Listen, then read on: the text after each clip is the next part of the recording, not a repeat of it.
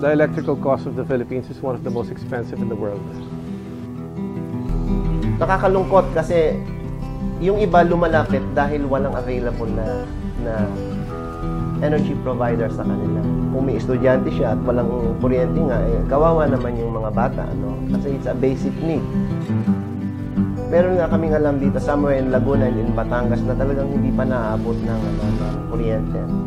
So, ito yung mga areas na we are hoping to help and hoping na yung cost ng storage device will further go down and maabot natin sila through renewable solar.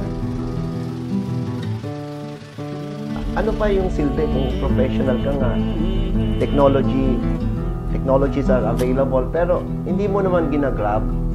So in a way, para ka ring um, para ka ring ano, para ka ring mangmang, no? Sorry, sorry to say the word. We have so much available power. Yung sun, free energy yan. Hindi lang natin napapakinabangan. Lahat tumataas.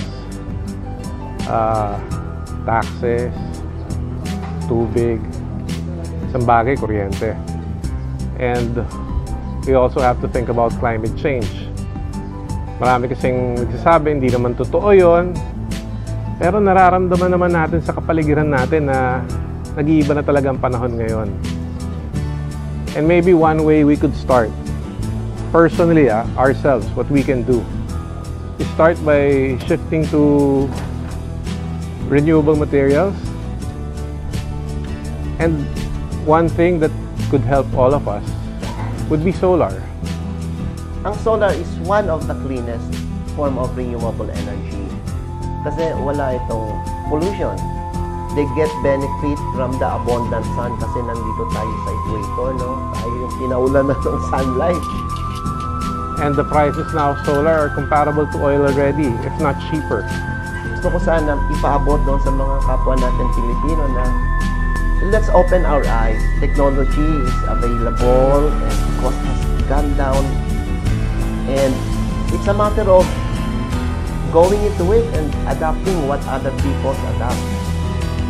Hindi lang makakatulong sa environment, pero pakikinabangan ninyo, ng mga anak nyo, at ng susunod na generation.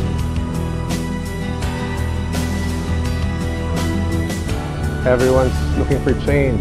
Ika nga, change is coming.